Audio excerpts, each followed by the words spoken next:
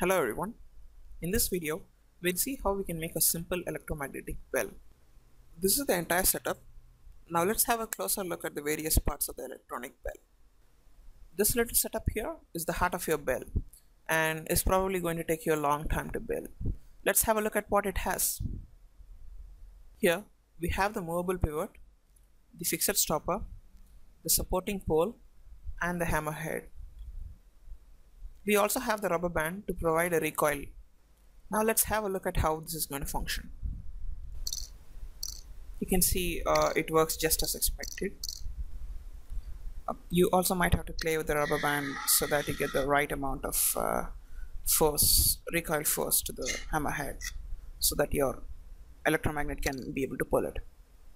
And of course we have the electromagnet itself. It is basically a screw that has a insulated copper wire wound around it. It also has something called as a flyback diode.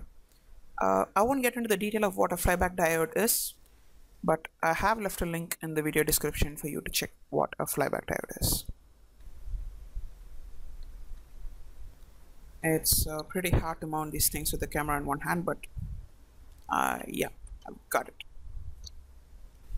Okay, we are all set. Let's check how this is going to function nice and good. You can see that the electromagnet is attracting the hammerhead towards itself.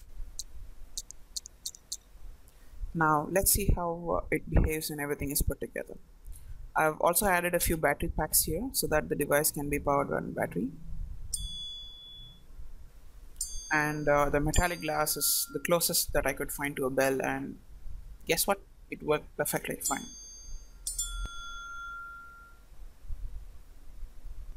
So that's it. Thanks for watching and visit embedjournal.com for more details on this project.